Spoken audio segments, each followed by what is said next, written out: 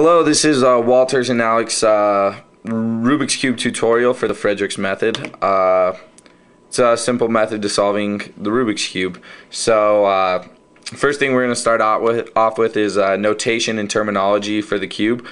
Um, a couple things you have to know is uh, if a side is turning clockwise, it is just you know a normal turn.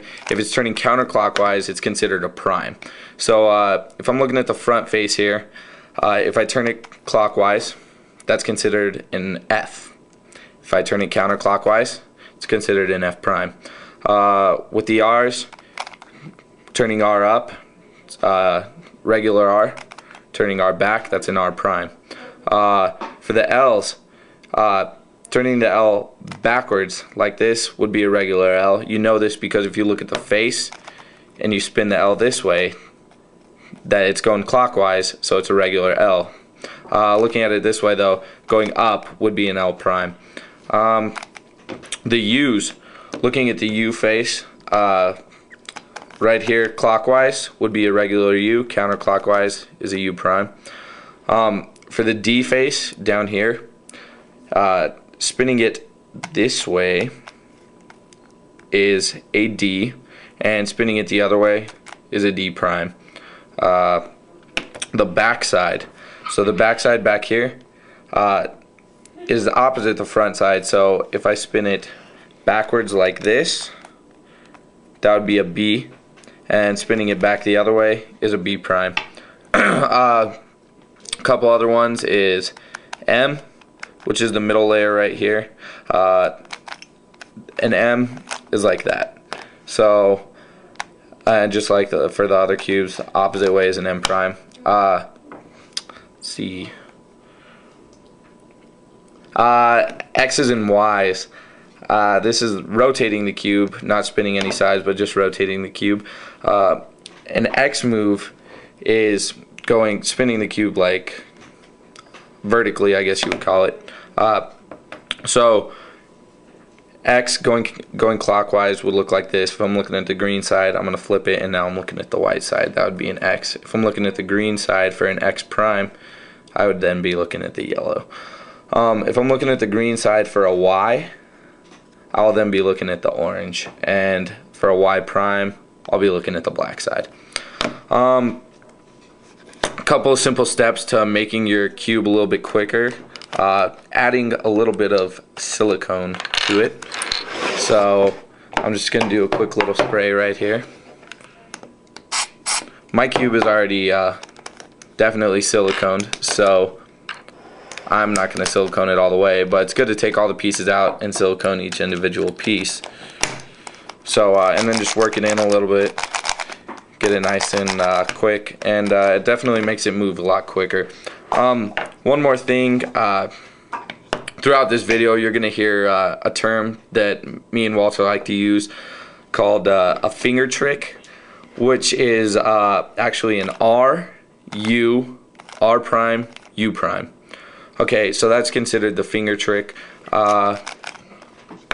It's it's a really quick move. Uh, so you know, just like that, that's what it looks like. It's really quick and it's an easy way to do uh, a lot of these steps that we're going to be teaching you. So uh, step one is uh, the first layer. So uh, I'm going to turn it over to Walter. Now it is Walter's turn, and we are going to begin to solve our first layer. And the first thing we want to do, our first objective, is to get this cross on the bottom here. As is the case for the Fridrich system, the F2L method for solving, we want that cross and um, this is what a completed cross looks like, and here's how to get there. Okay, completely scrambled cube, no cross intact. We are always going to start with the white side. We'll call that our bottom, our D face, as Alex explained. And yellow will remain our U face. We don't want to like get too crazy with flipping the cube around in circles unless we absolutely have to make X's, like Alex said. So let's begin solving the cross. Our, our first and most easiest case is when you have, let's just pick a piece. We got a white and a green piece here. And this is easy, this is the easiest case because green is touching green right here. So it's just a matter of uh, a turn of that face until you get it matched up with the white side here. Okay, there's one case. We have another easy scenario right here. when you have another piece, which is the white and the orange. Orange is touching the orange side already, so it's just just a matter of how many turns you, you use to get it to the bottom. So note that your your your centers for your cross here, it has to be uh, not only white to white here, but it has to be the same color up here. We can't have the green touching the red over here. We cannot do that. That would not, you know, thusly solve the cube. Okay. Another piece, we have a white and a red one here. Now, if we turn this over to the red side, it's not touching the red side, so we can't we can't like make that move straight down there. It's completely flipped around. So what we will do though, we're gonna we're gonna make it we're gonna make a U prime just to just to get this red ready to come down. So now now they're touching, and then now we can make that make that face move to get it touching here. Be careful not to misplace a piece that you've already had down here on the bottom so you don't, you know, kill what you're doing. Find one more piece. There's an easy one right there.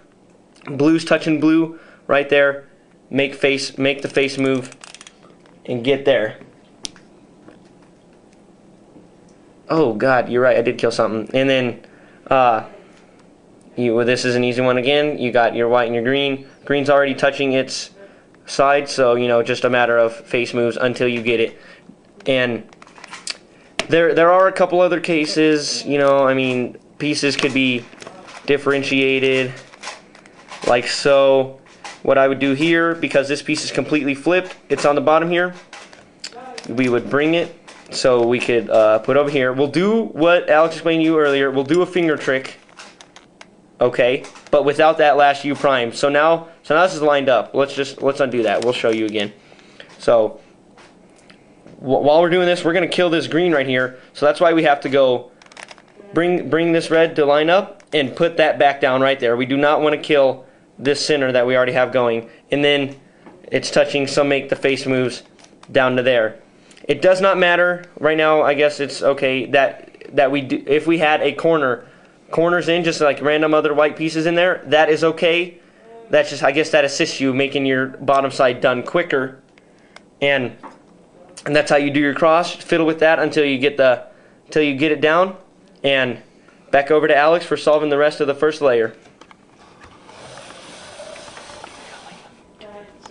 Okay, uh, so uh, in step one, we got the cross. Uh, whites again, our D face. Next thing we're going to do is we're going to put in each one of these corner pieces. Now, uh, first thing you want to do is with your white on the D face, you're going to look around this top layer right here and see if you can't find any white pieces. So I found a white right here. Okay, so the first thing I'm going to do is I'm going to look at the color adjacent to this white. So it's black. So what I'm going to do is I'm going to match this black, because it's opposite this white, to the black center. So if I spin it twice, U2, we're going to get the black lined up with the black center. Okay? Then the uh, move that you do is an L prime, a U prime, and an L and that put this corner piece in the right place. Uh, so now we'll look around the top again. Uh, here we are, here's a white piece. Adjacent color is orange, so I'm going to line it up with orange. Let's do a U. And so since it's on the right side, we're going to go R, U, R prime, and that puts that corner piece in. So now we put in two of our corner pieces. Uh, let's look around the top layer again. Here we go. Here's a white. Uh, adjacent color is green. So we are going to match up the green with the green center right here. Opposite color white. We're going to do that algorithm. L prime, U prime, L. And not put in that corner piece. Uh, our last one is right around here on this top layer. It's already lined up with the center. So we're going to go L, prime, U prime, and then L. Uh, so in this next video, we're going to talk to you about the other cases for these corner pieces.